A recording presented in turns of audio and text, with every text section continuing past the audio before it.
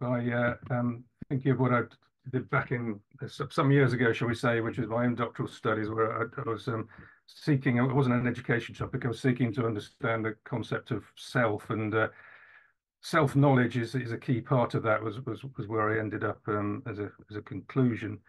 Um, and I, uh, I wanted to hang on to something that uh, one of the insights of Rene Descartes, um, actually from the 17th century, um, in, in, the discourse and the method, then he um, talks about um, uh, establishing uh, something special about his his knowledge of his self. Um, in the order of my perception is the way he puts it, um, um, rather than the order of the truth of the matter. So this is um, as, a, the the superscripted numbers in my title at the top.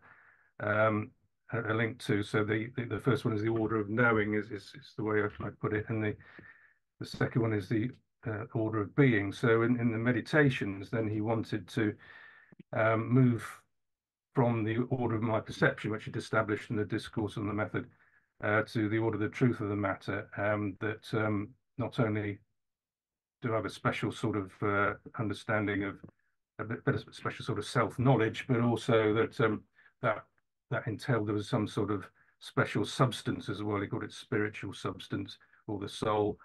Um, that existed. So that, that he, he, claimed to prove the ontological point as well. And I didn't want to follow in, in, in that second step, um, but um, but to hold on to the first step and, hold on to the importance of, of thinking epistemo epistemologically.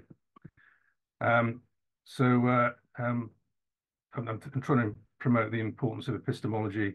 And not that um, ontology isn't important, but, um, but, but they, they, they have to go together and, and you can't forget one side of them. Um, in terms of the relation of them, then uh, I find it useful to, to go back to um, uh, how Plato uh, sets them up as, as, as um, different types of thing. This isn't his formula, as commentators have interpreted of saying that, that knowledge is, is, a, is equivalent to justified true belief. And so, you know, what's true is, uh, is the ontological component and, and uh, belief and knowledge are the epistemological components. Um, mainly Plato is interested in uh, in what um, since Gilbert Ryle we, we refer to as knowing that, that is facts or statements that are propositions which are either true or false, things that we believe and we find out they're true and we've got good reason for it, that's the justified bit, and then that means we have knowledge, and knowledge is something that's true. Um, and uh, if, if I can um, refer back to uh, to Tessa's talk last month. I, I, apologize again for not being there, but I had a look at the recording, and in, in the discussion, this came up as can you can you separate these two out very easily? And um, it, was, it, was, Ron Barnett uh, mentioned Roy Bhaskar. I was very keen that they are kept separate, and I, was, I guess I'm following him in that respect. Uh, Bhaskar, that is. Um, so the first part of my talk is is, is going to um, look at an example of of uh, where ontology is, ontology is important, but where it's it's um, still separate from epistemology, they're separate from each other. Um, with uh, knowing that as as the, the type of knowledge I'm interested in. The second part we'll, we'll look at um, the second in that list of uh, post-royal categories, knowing how, which is linked to concept of, uh, for example, skill. Um, as a third category of knowledge called acquaintance as well, um, which I'll mention briefly in that part as well. And the third part, my talk, the final part, um, right at the end, will be returning more to knowing that, but it's on the the, the uh, possibility of discovery, as in like scientific discovery. So that that's the structure.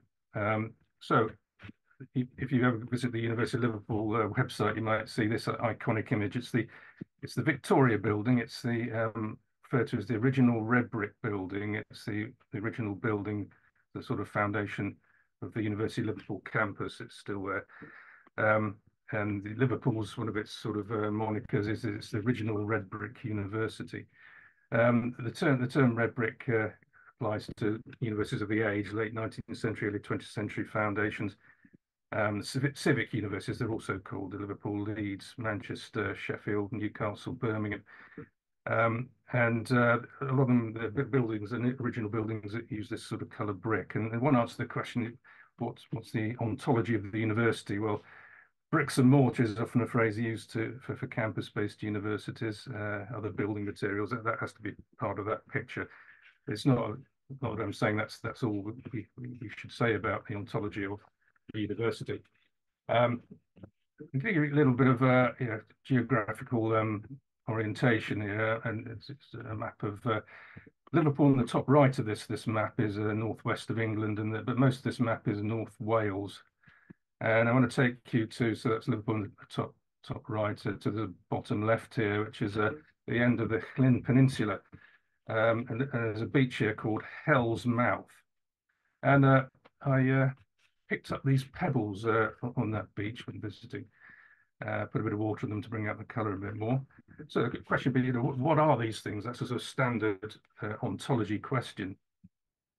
Uh, formed in the Earth's crust by geothermal processes and, and another movement, broken off and, and into the into the sea, washed around in the sea, smoothed and smoothed down to smaller size. Uh, that, would be a sort of story about what these things are. Um, and uh, that's them in situ. That's, that's the beach. The, see the waves coming in at the top. Um, not a bad weather day, this one, though. Uh, faces the prevailing weather, uh, this beach. Um, and then there's, there's um, a sort of larger object in the foreground. Then let's take a closer look. Um, is this just one of those pebbles? Is it um, uh, or stone at least, that's uh, been formed in the Earth's crust and broken away and been smoothed by the sea. Um, well, it, it, um, it could have been that, but um, it, it, also looks a bit like bricks, doesn't it? Um, with, with, the mortar in between a collection of bricks that's broken off a wall. Perhaps it broke off the Victoria building at the University of Liverpool and uh, so fell into the River Mersey estuary, swept out to sea, and the currents took it around to West Wales. That that could be a sort of if you were doing a, um, a, research project on what happened to this object, uh, a positivistic sort of story um, of, of, what happened to it. Um, that's relevant. I, I, connect this part of the talk with, with research methodology, um, but uh, I want to concentrate on the ontology aspect of it.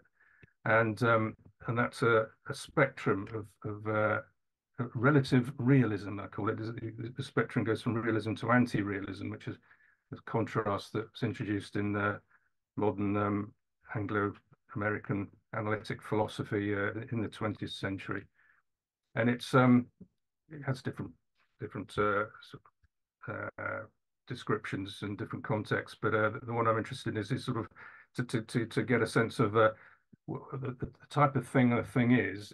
How dependent is it on us?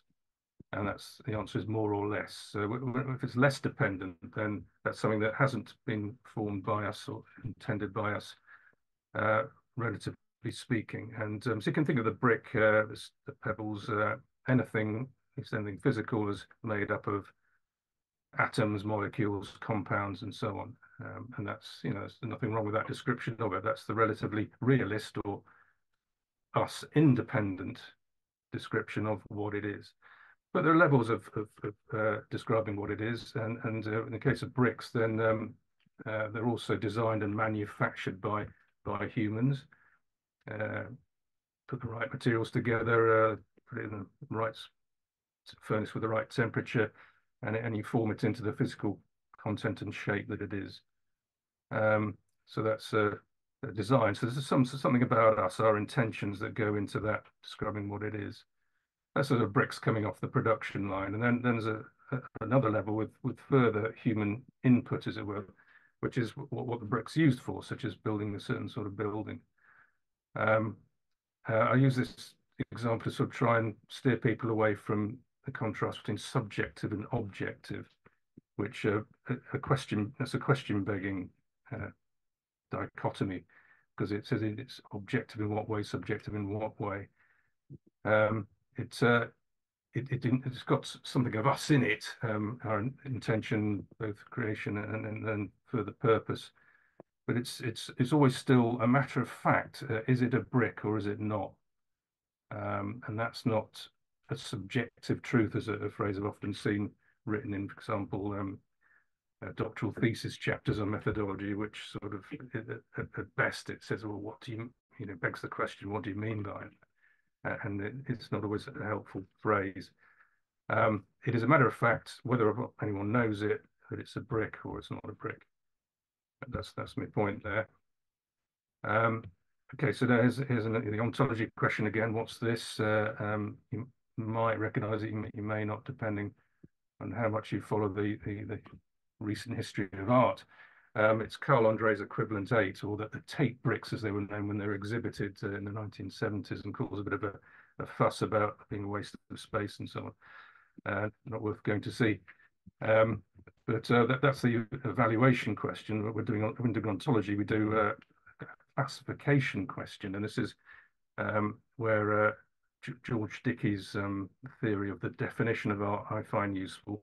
I've actually used it in a different context to, to consider what the definition of academic practice and a, a little uh, a journal article there on that matter. Um, but he, he uh, created this, this theory about how to define art, um, meaning it to be about art particularly. So he says, a work of art in the classificatory sense is an artifact, the set of aspects of which so conferred upon it the status of candidate for appreciation by some personal persons acting on behalf of a certain social institution called the art world. Um, the, so it has to be an artifact and, and, then something else happens as well to, to this object for it to be art. Uh, but just on, on, on the conferral aspect, and then he actually he, sort of, he says it's analogous to, for example, the conferral of status of of uh, um, being a bachelor, master's, or or, or doctorate um, doctoral, uh, successful doctoral candidate. Uh, um, so you've done your you've done your thesis. It's an amazing piece of work. The examiners like it, final version at least.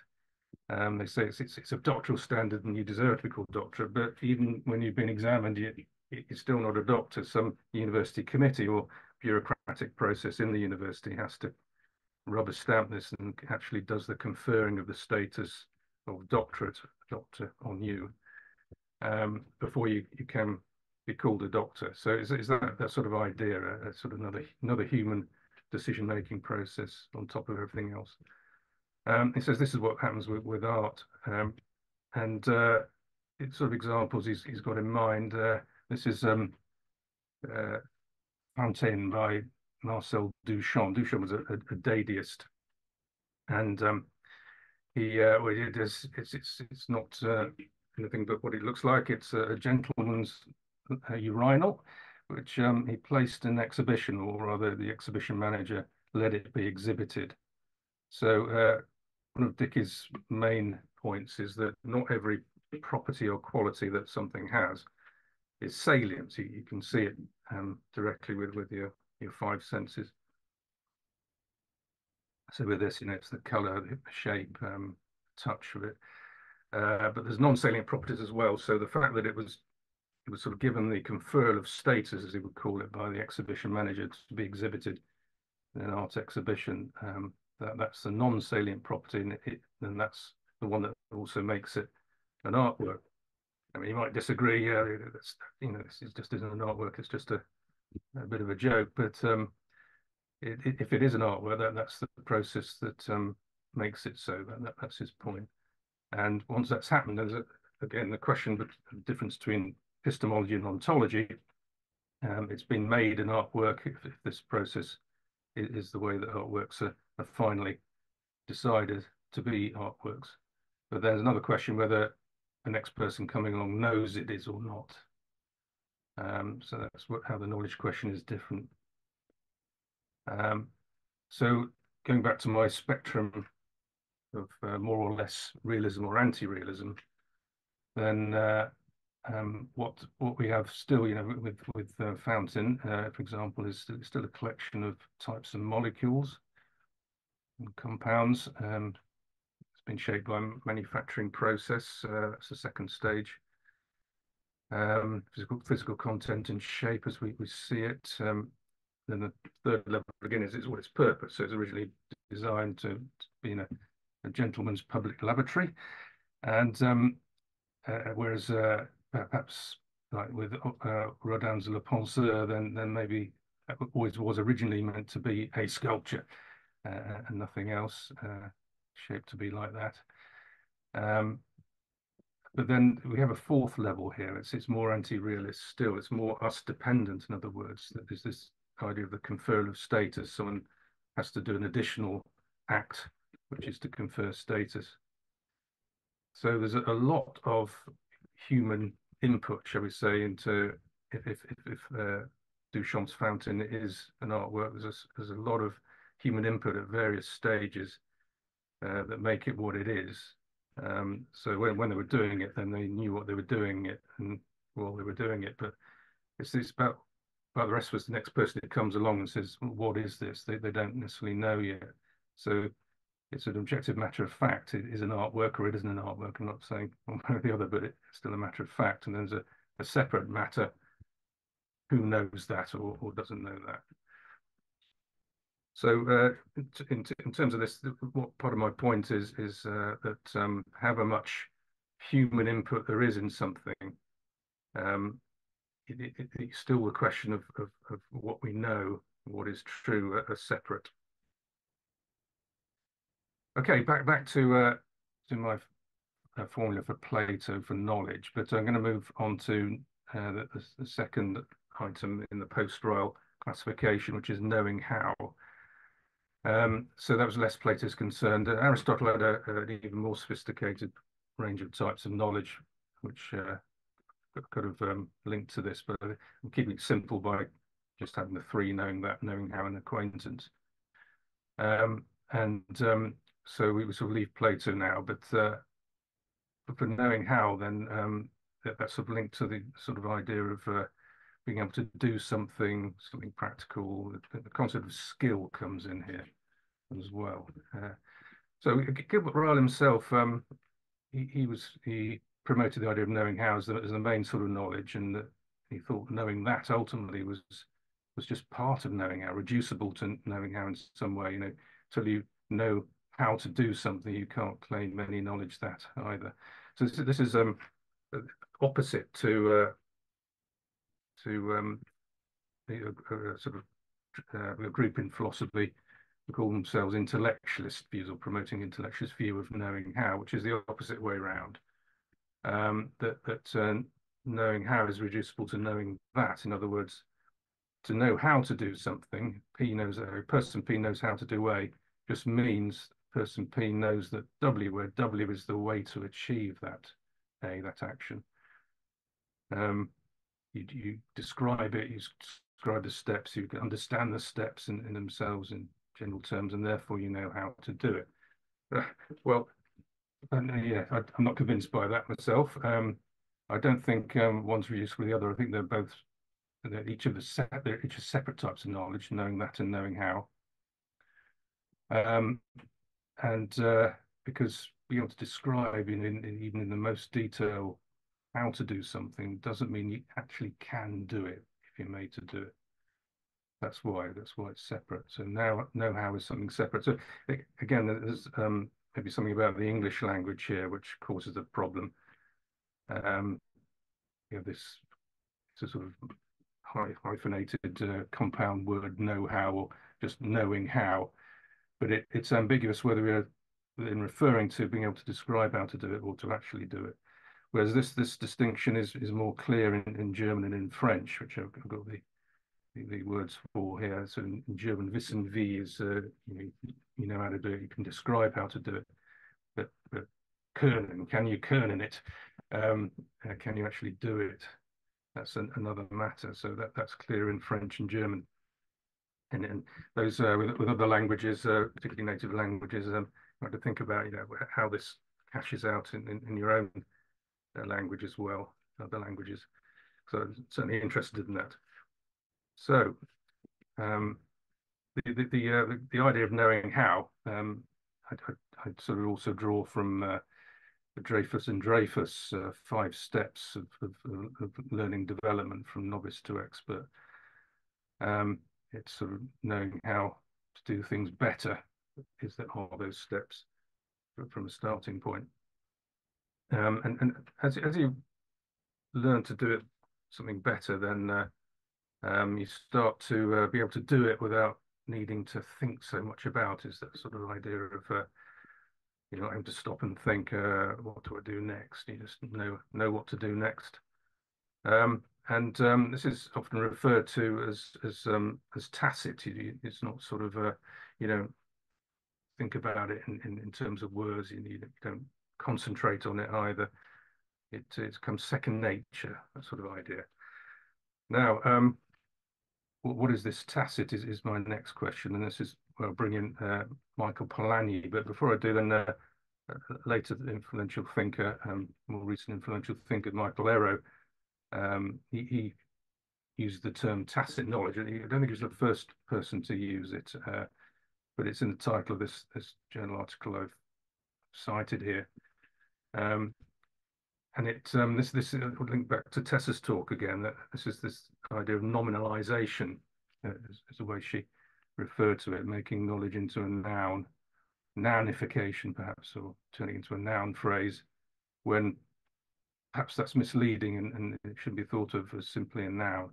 Because this term tacit knowledge, and, and, and this is the way that a lot of people in the literature, it's been more commonly talked about in the context of uh, vocational education and training, but it's talked about as like a sort of thing, um, sort of stuff, uh, the, the, knowledge that's essentially tacit. Uh, if you have it, then you, you you you you can't talk about it because it's tacit. Um, if you if you have it, then you can do the things that enables you to do. But then it's the knowledge itself that's that's tacit, and, and that's that view of, of tacit knowledge is is misleading. I don't think Michael Eraut really thinks that, but he, he still uses the phrase so um, what is the correct way? Well, so this is where um, Polanyi is useful. I think I have seen the term tacit knowledge in his text somewhere, but mainly he doesn't use that phrase. He does talk about tacit knowing, tacit dimension to knowing. Uh, and and that makes things so much more clear, I think, if we, if we go back to Polanyi. Um, I mean, first of all, um, a, we need to make a distinction clear about um, knowing that if knowing how to do something, then learning how to do it. Uh, that that's clear in his writing. Um, so always bear that that in mind. Is it the already knowing stage, or is it the yet to be knowing stage? Um, but then, what what doesn't come out in, in most of the literature about tacit knowledge in, uh, that I've, I've, mentioned is is there are at least three different types in, in Polanyi's uh, account of this, uh, categories of the tacit. The first one is perhaps the most obvious. It's um, what's um, it, it's in his phrase. Um, it, uh, he, he, puts it is is is that we can, we know more than than we can tell, and it's sort of telling something is using words. Um, so articulating it and codifying it. That's that's a sense of the explicit um, versus the inarticulate or practical, which is the tacit. That's, that's this is the first distinction. Um, and uh, some things you know you, you do rather than say. There's another question: how much can you also say about what you're doing, at least uh, in reflection afterwards? So anyway, that's that's the first um, distinction of, of tacit versus explicit, or the way around, explicit versus tacit in my representation here. The second one is, I think, even more important for Polanyi, but gets overlooked uh, more. And this is what, what's the focus of your attention? What are you focally aware of? That's the explicit um, versus what's um, in, only in your subsidiary awareness. So it's like a shift of attention. Um, that's that's what he's getting at there, uh, and um, and that's a that's a separate question to whether you're using words or not. That's why it's di different. There's a third sense, which is uh, explicit versus hidden. It's hidden. He prefers to use the word hidden with this um, rather than tacit, uh, which is he links to uh, discovery. That's some scientific discovery, and I'll come back to that right at the end, the, the final part of my talk. Um, the, the, the, two texts that he I draw from of his uh, the quite long book, Personal Knowledge, and then the book was written more, or it's written up as a, a, series of lectures he gave, which he wrote up and more uh, public lectures, which uh, a collection, became a collection called the Tacit Dimension. Okay, so um, to, to um, explain the first two, then I'll come back to the third at the end, as I said, the first two dichotomies or distinctions. And the first one, uh, explicit versus tacit. So it's um, discursive is, a, is a, another term for using language uh, versus non-discursive, basically. Um, I think a lot of um, our experience is basically non-discursive or, or non-linguistic, and uh, Robert Kirk, um, more modern day philosopher, uh, uh, just wants to describe what goes on in our consciousness. And um, he refers to it. Um, he's not the first to, to to use this idea, but raw feeling. It's, it's sort of the how it, things appear to us hit us straight away before we've applied any language to describe it. One of, one of the problems with with the language is that it's always too general. Our experience is too rich, and, and language can't capture it. Um, and, and, raw feeling is is sort of before it's been sort of processed by linguistic concepts and other terms. That's the sort of idea, but, we, we have it. We have the experience as raw feeling, um, but it's non-discursive. Um, the, the, other second distinction there is the explicit versus tacit is the, the one about you know, what are we focusing on? What's the focus of our attention? Um, and uh, in terms of, uh, I'll give an example of that at least. I've, I've, got some slides with a number of examples which we can come back to in, in discussion, but but I, I shouldn't um, uh, dwell too long on each one. But one of them is um, playing a piano, and um, example I'd actually so with this quotation for you uh, from from personal knowledge. He says, "Subsidiary awareness and focal awareness are, are mutually exclusive. The pianist shifts his attention from the piece he's playing to the observation of what he is doing with his fingers while playing it. And then he, he gets confused and may have to stop. So when you when you, you know how to play the piano, you're confident, you focus on on the music, such as the, the score, um, and and uh, fo focus on that and not your fingers. If you turn your attention to fingers on the keys, then you, it all goes wrong. That's that sort of idea. It's the shift of of attention, um, the focus of attention. So when you're focusing on the music, you, you nonetheless are aware, but only subsidiarily of, of, of, what your fingers are doing. So that's sort of tacit knowledge, tacit knowing. So I'll, I'll, I'll skip this. I've got an example of swimming, uh, learning a language, knowing a theory, uh, but generally having a, a projects you're trying to to uh, to do in the world. But I'll, I'll move on to um, a, a question about, um, so it goes back to the nominalization or, or noun making question. Um, and it, it's uh, a question that I to us now. Can we talk of being skilled at thinking or intellectual work? So linking, linking it more to what we presumably do at universities, for example. Uh, are there thinking skills? Well, I think, I think Polanyi might agree with the um, with me uh, to answer yes to the first question, but turning that into the noun skill, that, that's where problems start. Um, and it's the wrong way to, to think about it. And um, the, the, the, wrong way to think about it feeds from what I call the argument from realism and also from specificity. But I, will I'll skip the second one uh, and talk about the argument from realism. This is realism in its sort of spectrum of, of real to non-real, which is slightly different from the realism, anti-realism one I introduced earlier. Um, uh, the extreme end of realism which I call naive realism, uh, it, it, it, it um, has a view that the things that really exist are sort of solid things, uh, uh, the most reality, um, and uh, some things are, aren't a skill. So like bricks, they're not a skill, but they're a thing. Other things are skills, but the skills are still a sort of thing in the same general ontological category.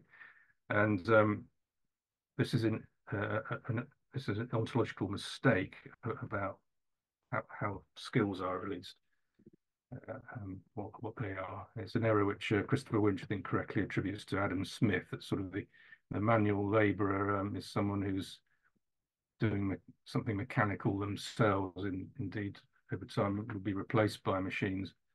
Um, and and the, the skill they have in, in in in doing the manufacturing, making something, is like an extra body part. It's almost this sort of metaphorically at least, but it's that's the what the sort of sort of thinking that, that Adam Smith and his followers had, and it's had a, a big effect on the way, uh, particularly um, English philosophers of vocational education have thought.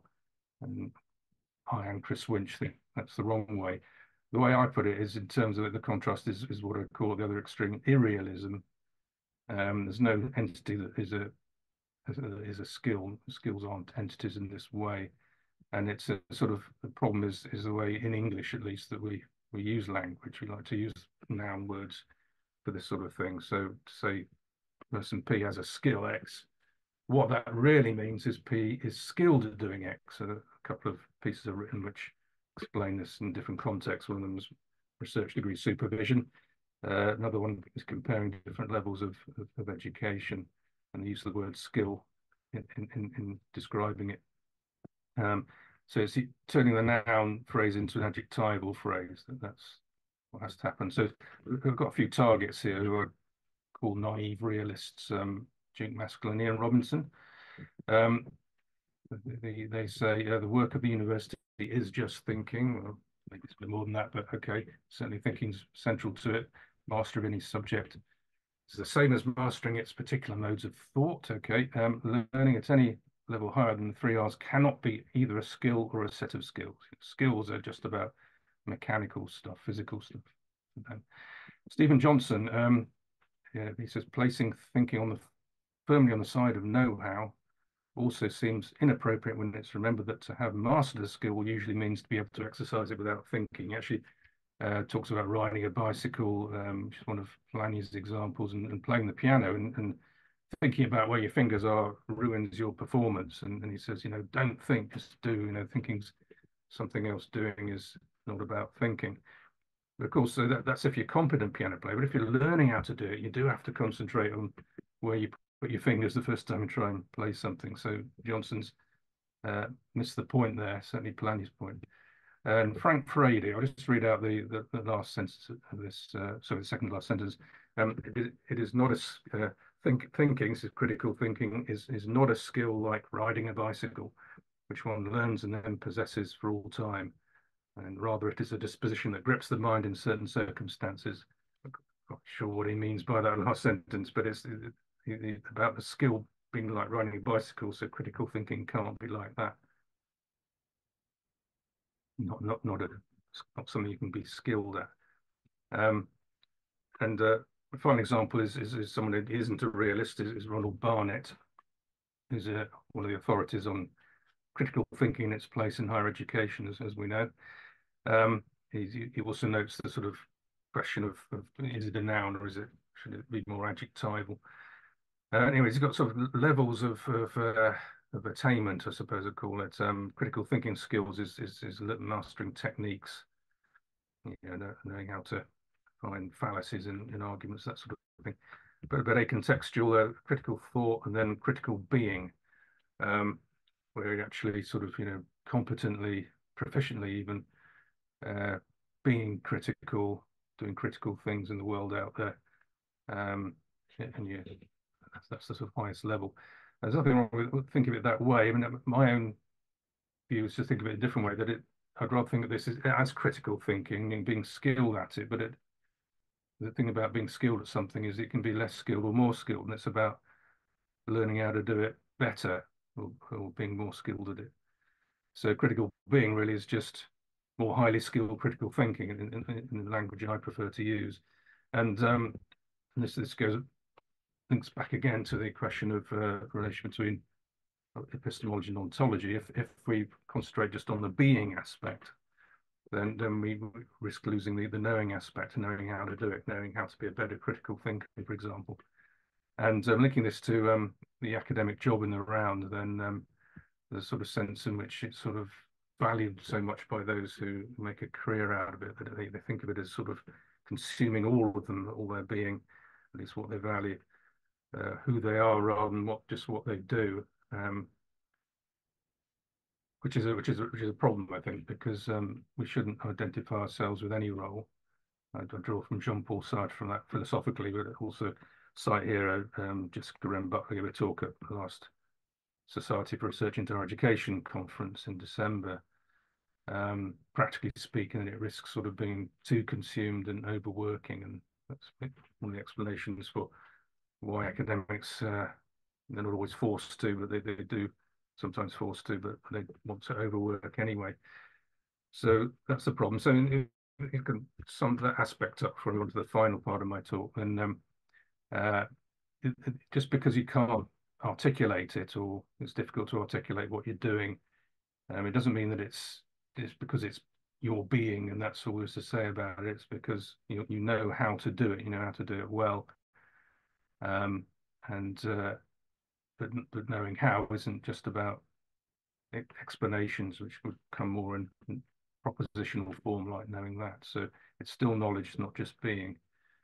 Um, so the final part of my talk now, um, which uh, brings back Polanyi, and this is this third sense of tacit versus explicit, um, and uh, trying to understand, you know, how how research works, uh, research which to capture the possibility of of uh, discovery, and scientific discoveries is sort of paradigm of this, but it should work in other disciplinary areas as well as science.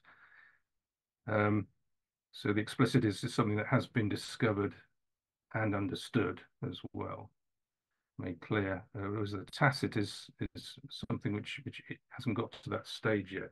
Uh, Polanyi himself um, actually uh, draws from Plato's paradox of learning for this. This is a in the Meno, when um, slave boy is, is, is taught Pythagoras' theorem um, by, by Socrates. And um, uh, Plato's paradox is, is if you don't know something, then how will you recognize it as something to, to learn and to come to know?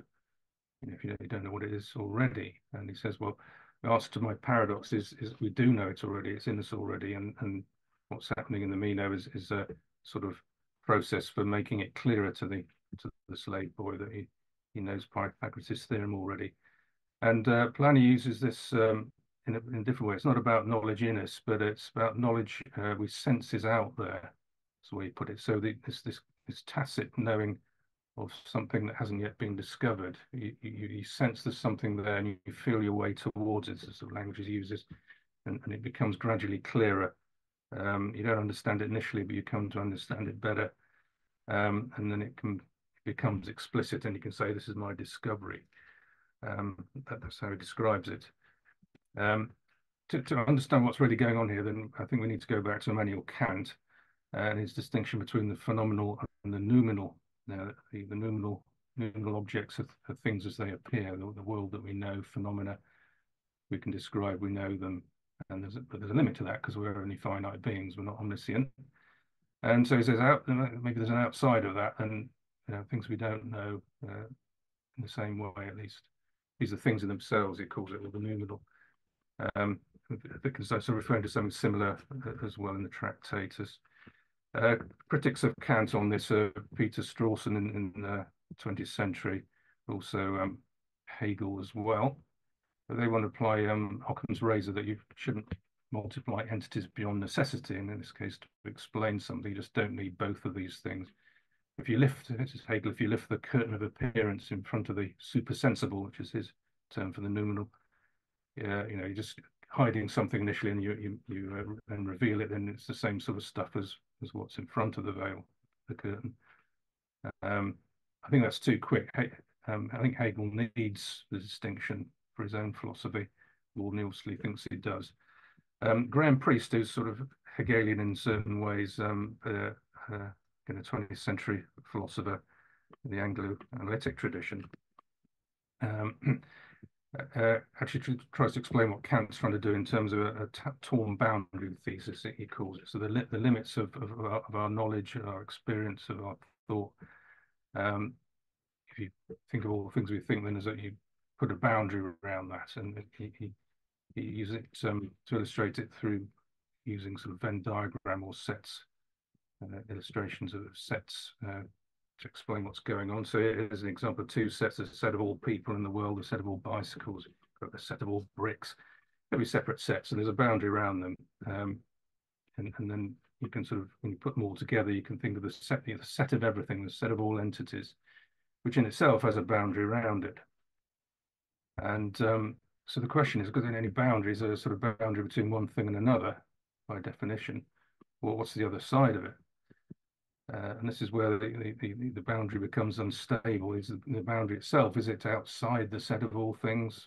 If it's a thing, shouldn't it be inside the, the set? The boundary itself is a, an entity. Uh, it's sort of both inside and outside at the same time. It's a genuine contradiction. This is why he thinks he's got a sort of formal logical uh, explanation, at least support for, for, for Hegel's account of possibility of real contradictions that then move the world forward as in, the uh, formula of commentators, the thesis and antithesis, they're in contradiction with each other, and the synthesis can result.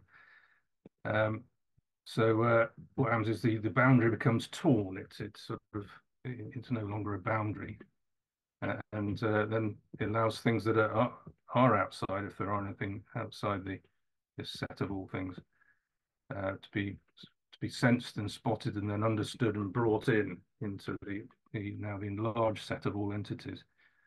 Um, so this this is uh, this is a way to explain, I think, a good way to explain uh, Kant's phenomenon versus noumenon distinction. The, the phenomena inside, but there's a noumenon outside, and what's outside can be brought in once we discover it and come to know it.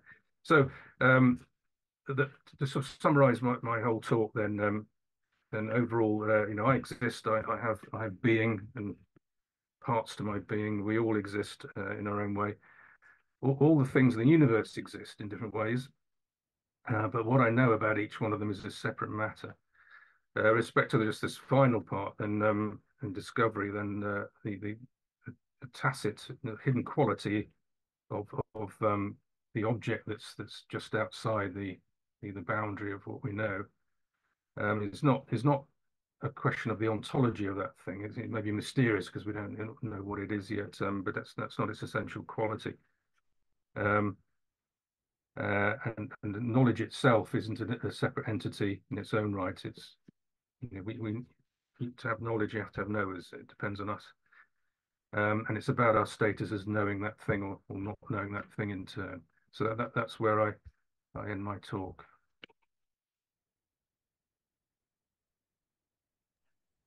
Thank you very much, Martin. Uh, okay, uh, I think we can now um, open open the floor uh, for discussions. Uh, I, I, have some questions of my own, but um, maybe um, someone would like to to start. So uh, if if anyone has has anything to add or um, would like to ask Martin a question, uh, I would like to ask you to to use the uh, up button, raise your hand, or just um, straight up, you know, turn on the microphone and speak. Okay, I I see that Carola is here with us and she has a question. So Carola, please uh, feel free to join us. Yes, thank you very much. Um, I, I, come actually from arts um, world, so it's a really nice thing to see that it's being brought into that. Although I have to say, George Dickie's uh, definition is quite restrictive from our perspective, you know. But um, uh, so I was actually surprised that it's quite recent. Um, but my question is rather about this notion of tacit being always hidden or secret. And we have in the arts world something that we have defined as embodied knowledge, and the piano playing is such a great uh, example. So it might actually start off as explicit knowledge that one can define and um, uh, uh, make explicit in words, uh, but it can end up as as a hidden knowledge that is completely embodied. And I think there's a differentiation between possibly, you know, different kinds of um, tacit knowledge. Uh, uh, certainly, from my perspective, that embodied knowledge is a category that specifically, of course, is important for the arts, but that, that is quite different than the tacit knowledge um, that is sometimes defined by the authors that that you've um, you know put forward. So, so, that's what I just wanted to sort of explore and what you think about that. But I'll make a comment about uh, yeah, George Dickie first of all. Yes, and, and uh, I don't I don't think he's got got the best um, theory of definition of art either. But yes, I think I think it's actually useful for looking at um, what do we mean by academic practice. That's that's that's how I used it in in what I've, something I've written before. Um, and I'll just use the illustration of of, uh, uh, of how you know higher levels of uh, of human input can may still be needed to make things what they are, um, and not just about art. Um, it applies to other things too. Yes, so, mm. but, but uh, I'm happy for you not to be, be a fan of his for just talking about art and not not, not the best explanation for art. Okay, yeah. Um, uh, so uh, yeah, so with with well, which which one should you look at? Piano playing. Um, yeah, the, the notion of embodied knowledge. So so I think that yeah. the thing that I struck upon is, um, and I might not have understood it right, but that quite often tacit knowledge is actually associated with being secret or invisible. And um, I think there needs to be a differentiation made. So whether embodied knowledge is a subset of tacit knowledge or embodied knowledge is something uniquely different Um, and of course, you know, we get that all the time. You know, we have dance practitioners who do research and have to define what new knowledge in the dance practice is. Um, and so there's a lot of embodied knowledge within that. Um, and of course, when doing research, it has to be made explicit. But um, so, so we encounter that again and again and again. And I feel it's a different category than the usual tacit knowledges. Yeah, yeah, I'm not sure. I mean, it's it's more of a sort of common, isn't it? Uh, uh, but but yes, it's useful to, um, for for me at least, to to, to link back to what Polanyi says about a lot of different activities and his examples. Uh, um, two examples of a wine tasting and medical diagnostics, but he also in in other parts of uh, his his explanation of what's going on, he talks about piano playing, as, as I mentioned. Um, and what he says when you're when you're learning things is the, the learning how to do something to, to know it versus knowing it already and doing it. Um, uh, which is is often missed out in discussions of tacit knowledge. That that's my point there. Um, so uh, but for some things you, to learn them effectively then you, you just being told you know something you could pick up a book and, and just read to have your explanation won't get you there. You have to be shown it. So this is um with, with uh, you know playing a piano. I'm, I'm not a, much of a piano player. I play the guitar a bit, but it's um if you if you're trying to teach someone how to do it, then then you'll be showing showing them where to put their fingers. When they're the the real the, you know, real novice, then you have to you know take it slowly, one thing at a time, uh, until they you know they can start to remember what to do and, and they don't have to think about it. Um, but uh, you, you probably use some words. There'll be some discursive element of it, but it's um, showing, which is the main thing, uh, and and that's that's tacit in the sense of of not using words where it is just hmm. showing, but it's explicit in the sense of focus your attention on this, will you? Um, and so that is, is, is that different? That, that, those two distinctions in in Polanyi are absolutely key to, and, and, are often forgotten, if, mm. if ever noted in the first place. Um, so it's it's the, explicit in the sense of where's your focus of attention, and it, it, your focus of attention shifts. So um, another example, if I can, you know, it, talk about it as, as the arts. If you include literature in the arts, then um, if if you're re reading some words on a page, it doesn't have to be literature, but reading words on a page, then you know if you know how to read as uh, you, you, learn quite quite a young age normally, um, then uh, you start to focus on on the you know the the, the units of, of the text in front of you for the meaning of that that unit a block of text. Um, and you're looking for the meaning there. You don't look at the what i'm saying is you know you don't look at the individual letters on the page in themselves uh, and think what's this? Now but if you're learning a new language particularly it's a different sort of script so, so in, in english writing is one thing uh, Greek is, is it's got different symbols, Cyrillic, uh, Chinese. Uh, uh, and then you start to think, you know, look, look at the shape of this thing on the page. You know, that's the thing you start to focus on. So, if you, if you if you know English and you're reading a piece of English text, you can do this. You can shift your attention from the meaning of the of the, the text as you're supposed to read it when you can, if you're a competent reader, to the shape of the individual symbols, the, the letters and the symbols on the page that's a shift of attention. So what, what Polanyi says there, and this is one, is one of his examples, is that your focus of attention shifts from one to the other. So what was your focus of attention becomes goes into subsidiary awareness. That's his contrast. It's focal yeah. awareness versus subsidiary awareness, and you can shift back again. Um, so it's a sort of you are aware it's there, but you're not focusing on it, and, and that's a sort of tacit for him as well. So um, that's what goes on with with the piano playing. If you, if you competent at it already, you focus on the score if you're reading a score. yeah, I think it's an interesting concept. You know, I, I, I sort of question whether it's a shift of focus though in in those processes. Language is a good one. You know, there are two ways to learn a language. You can learn it by rote. You know, normally just as as we normally do a foreign language, or you can immerse yourself. And of course, the linguistics. Um, uh, sector then basically says you don't learn a language, you acquire a language. So the cognitive patterns, you know, that the process of learning is a different one than based on rationality, based on um, uh, logic. Um, and I think that's hmm. uh, has something, you know, there, there are some some uh, interesting, intriguing differences in terms of what that means for tacitness and um, how we acquire knowledge or, or how we produce new knowledge. Um, I yeah, it's it's interesting. Yeah. So the, I mean, the other thing about yes, the uh, what you don't say, um, but you sort of still know. Um, you can still, at least in, in reflection, or you know, afterwards, you can still sort of find uh, some account of linguistic account to to describe and, and, may enlighten what you're doing. So if you're so doing a PhD in dance, you do the dance, which may which will typically won't be linguistic, but you still write about it, and that that can illuminate things about it. Yeah. But it's not even though it's not doing the dance. Yeah, thank you. Um, all right, so we have two questions, one from Soren and one from Iris, but there is also a question in the chat uh, from um, Maria Jakubik. So uh, maybe before we ask uh, Iris and Soren to join us, I'll briefly um, read the, the, question from the chat. Um, so the stratified ontology of critical realism has the empirical, actual, and real ontological layers. Do you consider explicit knowledge, codified knowledge, as empirical, knowing as actual, and tacit knowledge as real?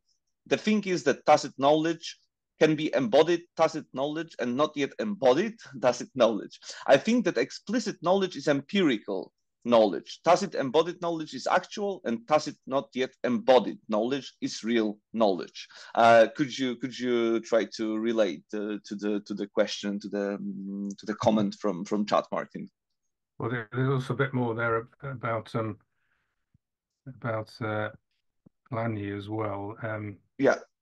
Yeah, uh, I mean, I, I, I mentioned Roy Bhaskar, um, and I, I haven't talked about critical realism as such, and I suppose the um, how it, how it fits into the picture. If, if um, perhaps um, uh, no, um, I was wondering to get, get up one of my slides again, but but but if, if uh, I'll just describe it. If think about um, my spectrum of realism to anti-realism, that's the things that can be at least un, known uh, or described at least uh, um, relatively independent of us. That's the more realist versus the descriptions of them variously that are more, more dependent on us, that have more human input to make them what they are. That's the anti-realist end of the spectrum.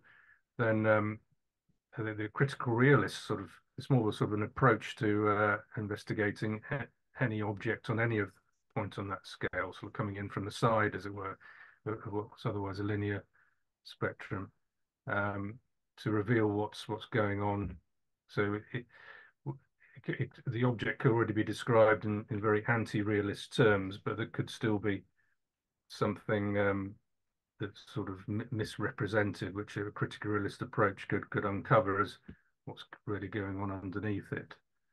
Uh, so um, any any account of an object can be can be can be approached that way, but the critical realist way whoever anti-real it already is. Um, but uh, the, I mean, the other categories from Bhaskar, I'm, I haven't really tried to incorporate, find a place in, in this talk. So um, is empirical knowledge? I mean, that, that, that seems straightforward to me. Uh, empirical knowledge is what knowledge we acquire by by um, you know, observe, observing, uh, collecting data about it. Through, we, we need our five senses, but also maybe some other refining processes, such as uh, come through one method or another. Um, but uh, empirical knowledge, I'd, I'd, I'd contrast with um, with uh, I suppose necessarily true knowledge or analytic knowledge, for example, it's things are true by definition of the terms and it's a sort of version of analytic knowledge. Uh, and so uh, I'm not trying to say one's tacit or one's explicit. I guess they both can be both. if, if that's getting at this, this question, um, mm-hmm. it's a bit more about Polanyi. Um,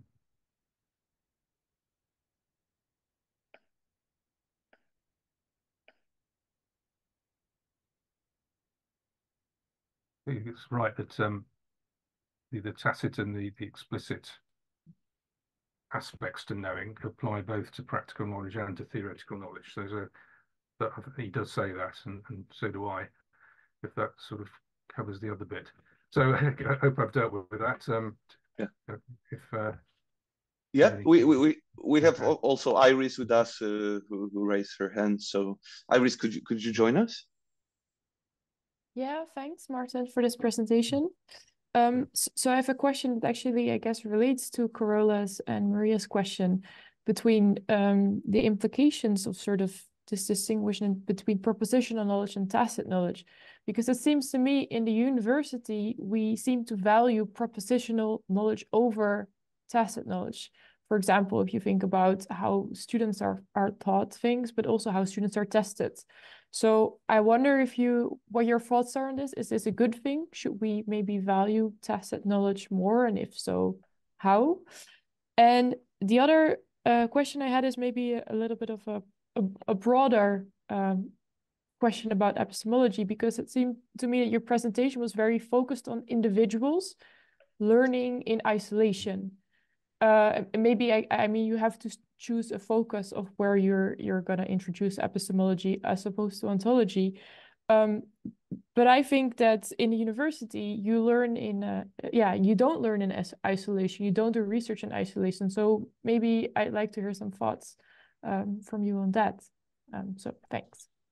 Certainly, there's at least two things there, isn't there? I'll, I'll do with the first one first, which is, you know, I think to rephrase it, should be value or should be recognise um, a tacit, well, tacit learning as well. It's not a phrase that Polanyi use, but Polanyi use, but uh, when you're learning it, is it, is it, are you doing it and do you know you're doing it at the time, knowing you, what you're learning at the time when you're learning it, or uh, are you using any words when you're, when you're acquiring the the knowledge?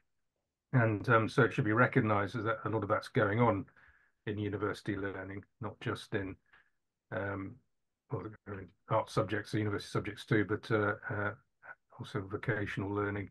It may be recognised more. Um, whether it's understood more is another matter. Uh, so I suppose one of the reasons it's not talked about much is because it's tacit. It's like sort of you can't you can't talk about it too much, uh, um, and you, you, can ultimately, theoretically speaking, but when it's happening, um, if it's not using words when you you're learning tacitly, then uh, that's why it appears not to be being recognised, I suppose. Uh, so, but, but yes, uh, in, in, in reflective documents afterwards, we, we can bring this out more. So, so yes, in answer to that question. And um, it reminds me of, uh, it was actually a, a, talk I went to at a conference, uh, it's over 20 years ago now, but it was a, an academic, um, two academics uh, from the same institution, one taught dance and, and was a supervisor and examiner of dance PhDs, and the other was a, a chemistry lecturer and um, supervisor and examiner of chemistry PhDs. And they they they, they stood up together and um, said, "We're we're basically doing the same sort of thing um, in that um, what, what what you know to be a competent chemist and and uh, and do the right things and, and make discoveries in chemistry that then um, it a lot of it's an activity and and um, the the writing up of of a chemistry PhD thesis is is is uh, often something that's sort of done after the activity. Um, and my PhD was in philosophy, and, and, the writing is the activity, reading and writing, much more. Uh, but in in lab-based subjects, then yes, they may be making some lab notes, but uh, a lot of it isn't uh, about the writing. Uh, and the, the chemistry lecture wondered, you know, should we have a PhD more like a dance PhD, where your your your, your activity of being a chemist, the, the actions, your, your, bodily behaviour should be being examined as well. Um, and I am not sure it's going to happen because it, it require a lot more uh, resource to do so. But it, it is a major question. When you've got the, the dissertation in front of you, which is words and formulae and so on, diagrams and whatever, then does that capture what's really happened when you're you know, you're um, contributing to knowledge in chemistry? And his answer was no. Um, uh, the chemist himself. So uh, yes, people have already asked this question: Should we be, be valuing more the, uh, the, the things that aren't written uh, and, and maybe not necessarily noticed even at the time? Um, so, uh, and, and the, sorry, the, the other part of your question was was more about um, uh, collective knowing. Is that right, or on individual? Uh, I think it's right. Not that, necessarily um, collective yeah. knowing. It doesn't right. have to be collective yeah. knowing, but uh, I just the the authors that you drew on I feel like they talk about knowing in isolation as sort of this individual person attaining knowledge from something somewhere. But in in real life, of course, that's usually not how it works. There is a whole social environment that interacts with with people and um, I mean, it's it's your scope of focus of epistemology, but I feel if you want to make implications about what it means for the university, this social element is also very important. Yeah, that's what they call it the the methodology of learning or teaching methodology. Even if you you know we we undergraduate education we we, we teach groups of students. You know, it's got, it's got to be a, um, an element of social learning, uh, the process of becoming to learn. But it, and what probably happens is that each individual student has that slightly different understanding uh, of, of, what they're supposed to understand, and maybe that doesn't matter. Um, although students can get it wrong um, and they, they, they, get they get found out when they get assessed. Um, but um, yes, how they learn is you know they've got those influences, and, and you can yes, taking this further. Then if you sort of break your class up into smaller groups, then each group will be having a different experience, and uh, what they're learning as that small group will be different, slightly different from what the next small group will be learning because you know, they're not, not identical say all and do all the same things. So, um, but, but uh, ultimately, it's a, the I know it's a, because we we assess most of our assessment practice is, is to take the individual. What what do you know now? what have you learned and assess them individually? Then it, it also must be so that each individual will have their own knowledge, whether it's all the knowledge you want them to have or not. Um, so there's always that individual level of knowledge, of, of knowing. All right. Um, any further questions? Uh, is there someone who would like to add something? We still have a few minutes, so there is there is time for one more. Uh, okay, uh, we have one question from Cecile. So uh, if you would like to join us, please do so. Yes. Hi, um, thank you very much for a very nice uh, talk. Um, I'm um, at University of Bergen, for those of you who I don't know. Um, I was wondering about, um, so because we, the last questions was a little bit more on method, I would say. So I was wondering, how do we get knowledge or scientific knowledge? About phenomenons then? Uh, what kind of methods can we use um, to do, do how how do we talk to people? Do we observe people? How how can we get knowledge about tacit knowledge? That's an interesting question. Yes, I think, I think it may be uh, yes, um, linked back to Iris's question about about sort of social learning as, as, as a sort of method of learning as well. Um, and and there are there are methods and there are other methods. uh, uh, so it could be quite a long list. I could I could sort of say describe how, how we how we come to learn things. So learning things is is uh, and, and, and with with Plato's um, paradox of learning in the Meno, then that's the individual level learning. It's the the slave boy learning or coming to know more clearly. Um, was was Polanyi's more interested in in in the the, the whole um, scope of human knowledge. How can we what we've got so far? How can we discover anything new if we if we haven't discovered it already? How do we know it's there in the first place? That's his version of the of the, of the paradox. Um, but uh, with, with, certainly with science and um, and and uh, phrase we, we see a lot and hear about discussion of sciences and by policymakers as well is is the the scientific method um, and um, it's it's a sort of the the, the gold standard of of how to go about things, but there, there isn't one scientific method. There's just many many different ones, um, according to the context, according to the discipline. Just to give an example, then um, the, the sort of gold standard, the, the one that policymakers like and think should apply to social science and education as well, is is, is the medical model of uh, randomized controlled trials. Mm.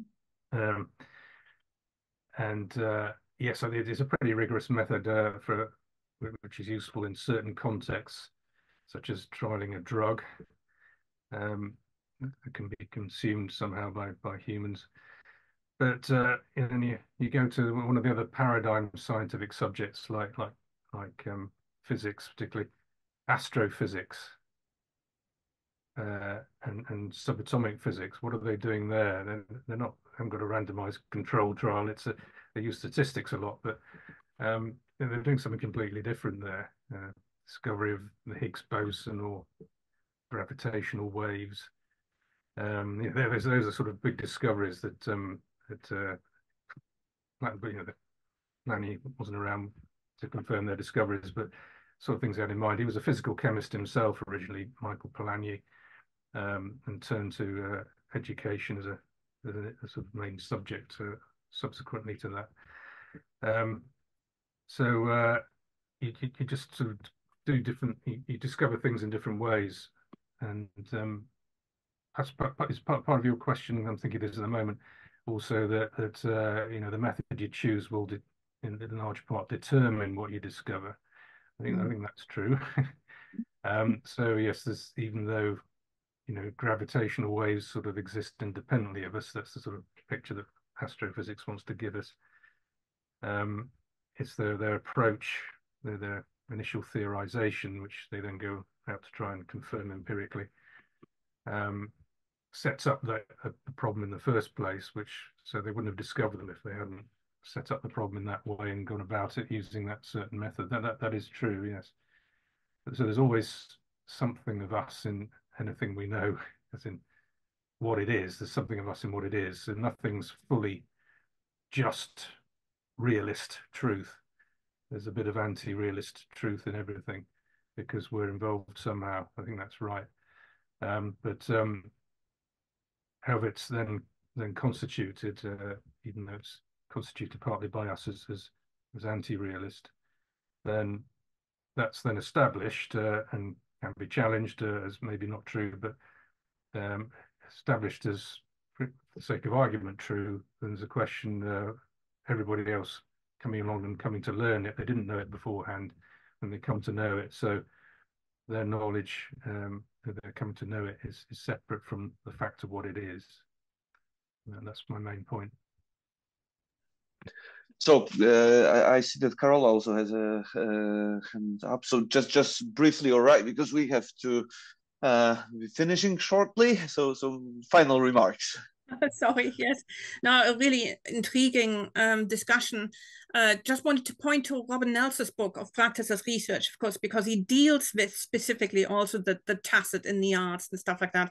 And he, he leans on some of the works that you mentioned, Martin. You know, he does have the know-how, the insider close-up knowledge um, on knowing, experiential, haptic, performative, tacit, embodied. And then he has, of course, know what the tacit made explicit through critical reflection, knowing knowing what works, what composition, you um, structures, and then it's this rather outsider knowing what, you know, the spectator studies and stuff like that.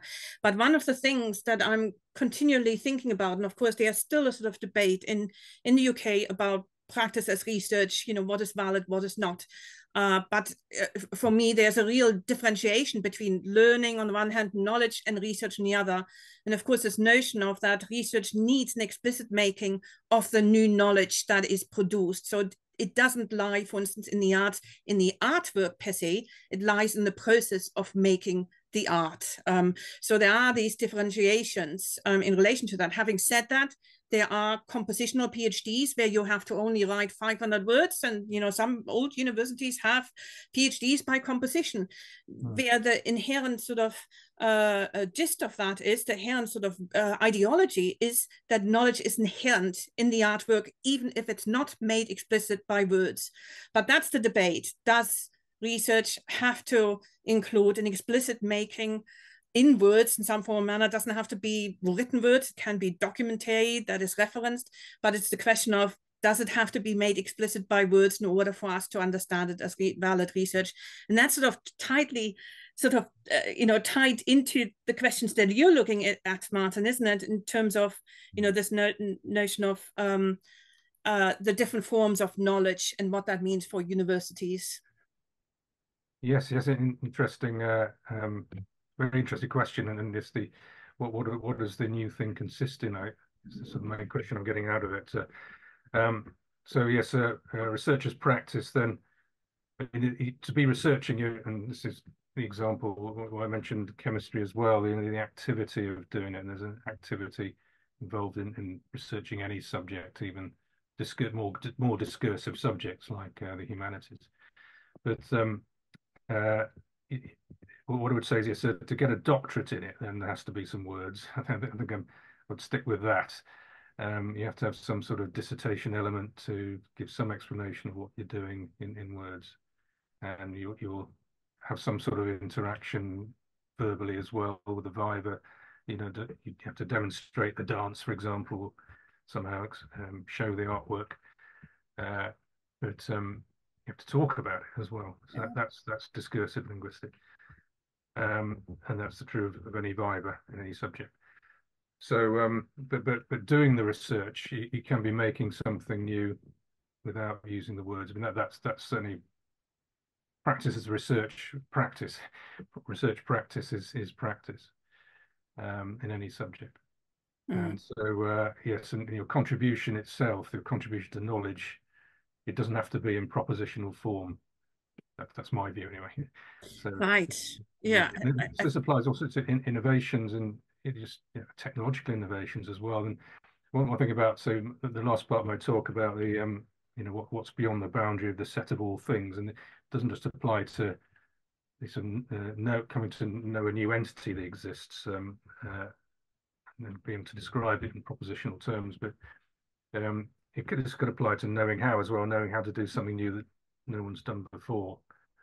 Um, so that'd be a contribution. Hmm. Uh, it's not just uh, um, propositional knowledge, but, but knowing how as well. And and, um, and, and technological innovations are things that um, haven't been imagined before. We we, we you know, Icarus um, stuck stuck bird's feathers on his arms and got too close to the sun. The sun melted the wax, and so he fell. So he started to fly, but didn't quite succeed to fly. Hmm. But the idea of flying as a technological innovation, you know, obviously it's gone back as old as that. But other things, you know, weren't even th thought of that, that have been invented since the ancient Greeks. Um, and um, they're, they're, you know, at the time they were outside that boundary and now they're inside it. So it applies to technological innovations as well. Yeah, thank you.